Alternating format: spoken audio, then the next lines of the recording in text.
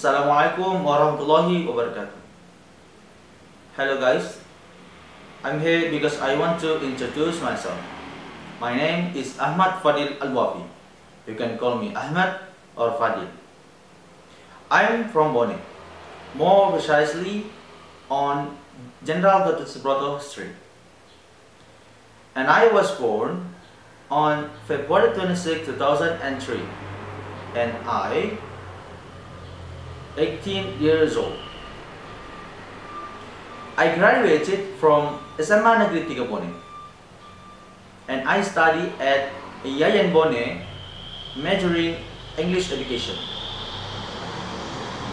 I'm the third child from six siblings and my father's name is Muhammad Basir Esos and he is the manager of PLN in Palopona and my mother name is Siti Fatima and she's just a housewife.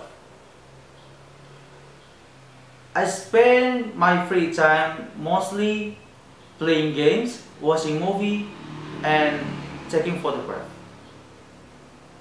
I really like photographing. Everywhere and every time I found an object, I will definitely take a picture of it. I'll, I think that's all for me. Thank you for attention. Assalamualaikum warahmatullahi wabarakatuh.